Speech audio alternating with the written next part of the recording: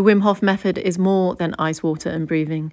It's helped me unlock what I was looking for in life. I've been having deep and meaningful conversations recently, and one of them is talking about my adoption, or um, yes, I'm adopted, adoptee.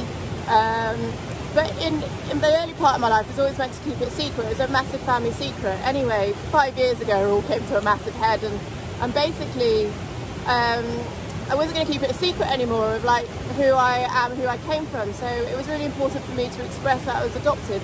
The Wim Hof breath work really helped me release that pre-verbal trauma that I had at that um, had when I first came into the world, and also maybe maybe my childhood with not having not not to be seen. I think that's one of my my key hurts is um, wasn't seen. I was seen in many ways, but not in the way that really connected me to others. So made it public that I'm adopted, and I'm sort of going to enjoy the process or working through the process. But having this connection in nature and doing what I do I feel a belonging again, a sense of belonging, I feel a part of. And when I'm in the water and you have that sense of stillness, that true connection, it's like almost where the true self-esteem is. So, and it plays a really important part that long-winded way I'm trying to say that I, I no longer care that I'm adopted. Um, I no longer I no, I no, no longer hang a massive like needness for it or um,